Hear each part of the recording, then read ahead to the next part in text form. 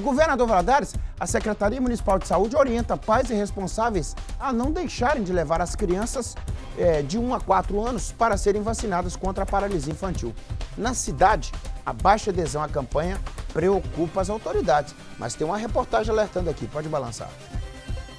A imunização contra a poliomielite foi prorrogada até a sexta-feira. Segundo a Secretaria Municipal de Saúde, um dos motivos seria que os pais ou responsáveis podem ter baixado a guarda no compromisso de levar os pequenos para serem vacinados. A campanha de vacinação contra a poliomielite é destinada a crianças de 1 a 4 anos. Segundo a coordenadora do setor de imunização, pouco mais de 40% deste público foi vacinado. A única forma de evitar a poliomielite é exatamente isso aí vacinação.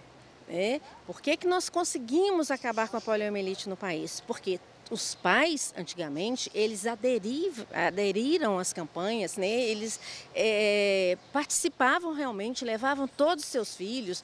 Às vezes, num sábado de campanha, a gente vacinava 10, 12 mil crianças em um único dia. Né? É, é, e muitos vacinaram, vacinavam antes e logo depois. Não existia essa de ficar prorrogando. Márcia ainda explica que a doença é considerada grave e pode causar paralisia infantil. Poliomielite é considerada uma doença grave porque ela pode levar a lesões é, é graves, sequelas né, sérias é, e pode levar também a óbito. Né? A poliomielite, às vezes a, a, criança adquire a poliomielite e ela tem sintomas muito leves que nem imagina que está com poliomielite. Mas aí é um grande risco, porque ela está com a doença e está ali contaminando, né, disseminando esse vírus, podendo contaminar outras pessoas não vacinadas. Então, isso aí é um problema sério. Duas gotinhas que podem salvar.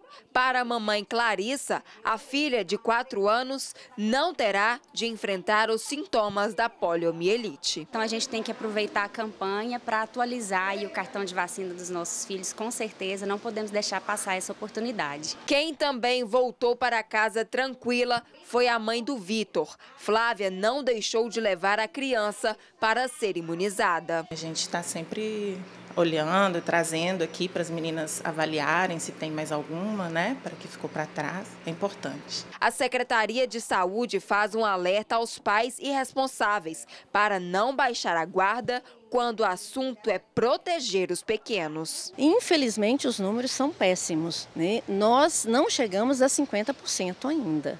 É, e estamos aí entre de 43% para 44% apenas das crianças é, é, que receberam essa vacina tão importante. São apenas duas gotinhas que salvam vidas.